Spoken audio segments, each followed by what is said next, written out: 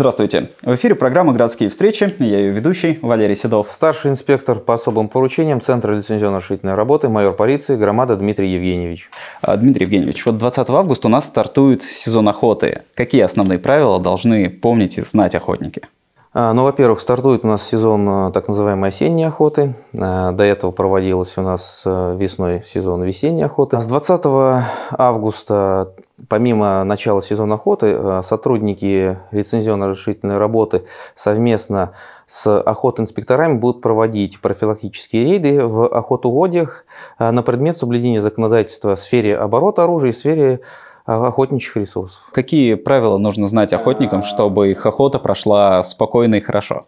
Охотник, находящийся в охотугодиях, должен иметь при себе разрешение на оружие, охотничий билет, а, и путевку в конкретное охотугодие, то есть на добычу конкретного вида дичи. Запрещено у нас стрелять э, по информационным знакам и табличкам, которые э, там, вдоль дорог, например, расставлены. Эм, также запрещено у нас производить выстрелы вблизи населенных пунктов э, на расстоянии менее чем 200 метров от ближайшего населенного пункта. В том числе запрещено производить выстрелы при плохой видимости, если ты не убедился, что целишься непосредственно в цель, да, ты ее видишь. И также запрещено загонять добычу с разных сторон. На какую дичь разрешена охота в этот осенний период и в каких частях Рязанской области? В частях это у нас вся территория э, Рязанской области. Сейчас нет разграничений, там, э, как в весенней охоте, там северный регион и южный.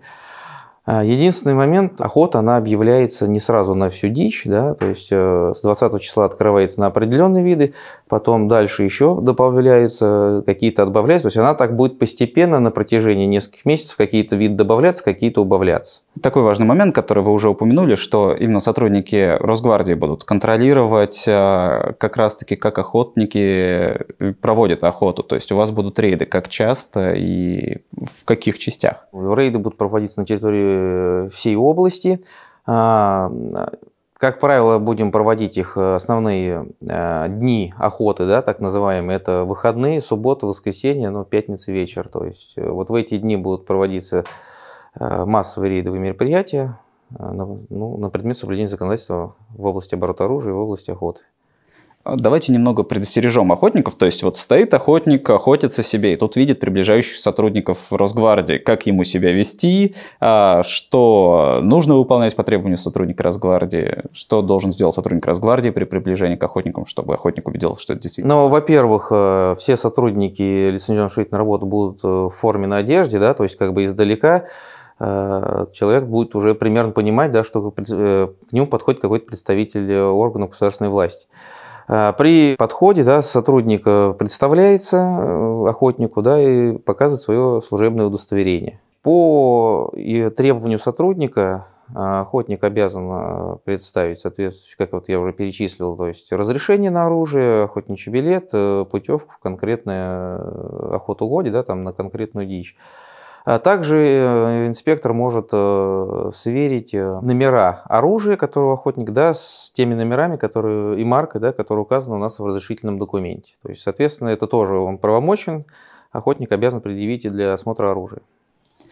У нас за прошлый охотничий сезон было выявлено 33 нарушения. Что чаще всего нарушают охотники? Ну, как правило, там в основной спектр нарушений – это нарушение правил охоты.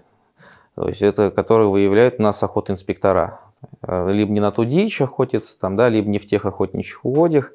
А небольшой э, процент э, нарушений идет именно в сфере оборота оружия, а в связи с чем вот у нас за период весенней охоты было изъято 3 единицы оружия за нарушения различные. А это вот за какие такие нарушения можно лишиться своего оружия? А, находясь в охотничьих угодьях, запрещается находиться с оружием в состоянии опьянения, э, передавать оружие э, другим лицам, либо оставлять его без присмотра. Да? Как часто бывает, одной компании люди идут на охоту, все как будто друг друга знают, и берут с собой также и лиц, у которых нету в собственности оружия, и они там, там Вань, дай-ка мне там пострелять тоже интересно, то есть дают свое оружие пострелять, вот это вот запрещено. То же самое бывает там вместе вроде сидят, оружие вместе сложились и разошлись. То есть да, оружие бесконтрольное, может кто угодно подойти и взять, вот это тоже запрещено. Если изъяли оружие, как его получить обратно? И можно ли его вообще получить обратно? А тут все зависит от того, а, по каким основаниям было изъято оружие. Да? Вот сейчас не применительно конкретно к охоте, а в целом. У нас э, оружие изымается, первое основание, если нарушены условия его сохранности. Да? Если там на охоте, например, оставил его без присмотра, да, либо если по месту жительства хранится вне сейфа, да, либо сейф э, вообще отсутствует, там, сломался, либо новый решил купить, старый выкинул, там, например. А, в данном случае оружие будет изъято, и э, его можно будет только забрать в том случае, когда будут устранены вот эти обстоятельства, которые препятствовали сохранности этого оружия. Например, новый сейф появился, да, человек придет, напишет заявление, мы проверим сейф на месте, все, тогда, пожалуйста, забирайте свое оружие, можете вы его хранить соответственно, с условиями обеспечиваю его сохранность. Другие основания, у нас сейчас часто бывает в последнее время, происходит, э, к сожалению, вот смерть владельца оружия, да, то есть э, он уже собственником не является, да, за сохранностью, то есть у нас следит за сохранностью только владелец этого оружия, другие лица не допущены к нему. Соответственно, вот в данном случае мы тоже оружие изымаем, у родственников. Там, а, и а, его можно будет забрать уже, если родственники, соответственно, вступят в право наследования, оформят на него соответствующие разрешительные документы. Либо, например, продадут его там каким-то другим лицам, если им оружие уже без надобности. Да? То есть, ну, соответственно, должен быть разрешительный документ. Вот то же самое. Третий вариант – это если истекает срок действия разрешения, человек сдает добровольно оружие у нас, освобождается тем самым от административной ответственности. И он сможет забрать это оружие только в том случае, когда оформите новое разрешение. То есть без разрешения э, человек не имеет права хранить оружие.